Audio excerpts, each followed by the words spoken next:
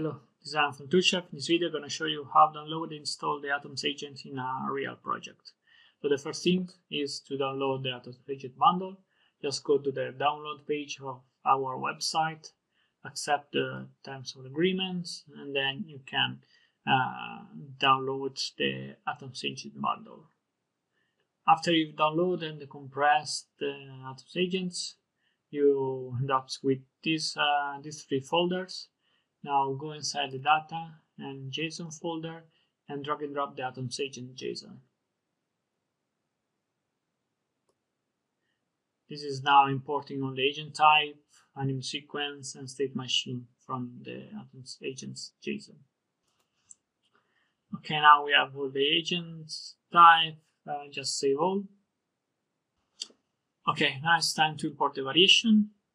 Go back again to the to the data.json folder, go up to the main folder here in the content browser, and drag and drop the Armand variation JSON.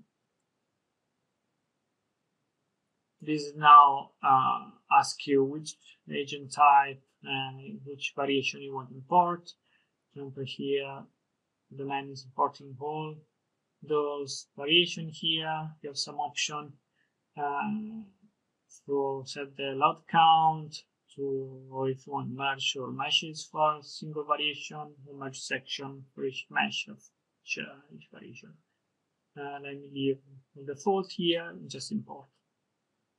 It will take quite time since there are quite a lot of variation. Okay, now we have all our variation.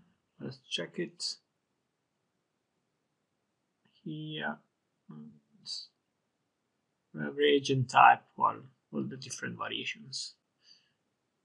Let's save all those assets.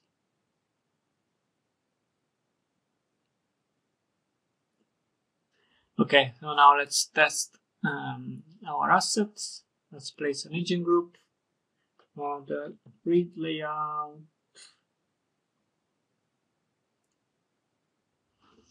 And let's set nine for now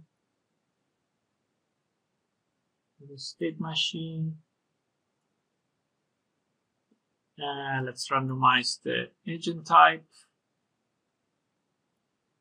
Uh, let's randomize long girl and boy.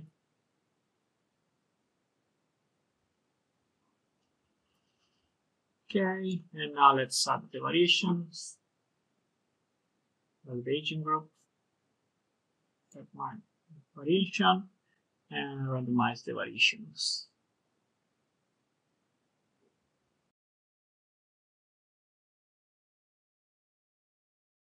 There we go.